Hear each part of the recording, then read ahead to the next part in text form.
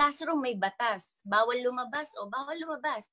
Pero pag sinabing pag nag-comply ka na bawal lumabas, pero may, sina- may ginawa ka sa pinagbabawal nila, inayos mo yung law ng classroom nyo at sinabmit mo ulit, ay pwede nang pala ikaw lumabas.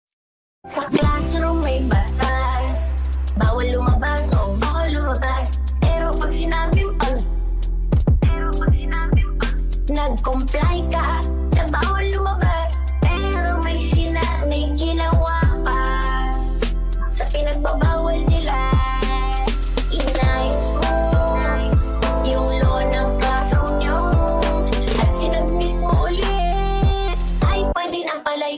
lumabas.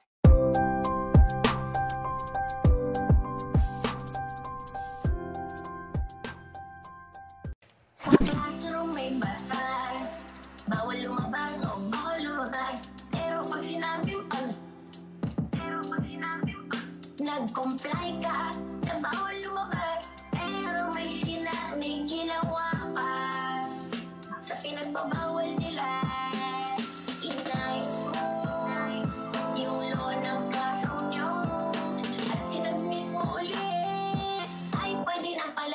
ikaw lumabas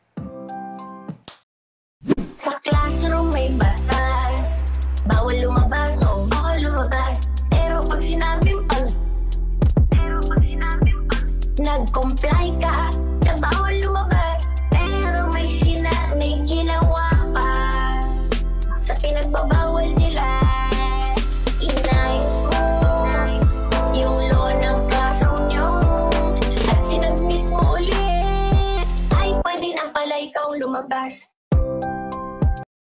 Sa classroom may batas. Bawal lumabas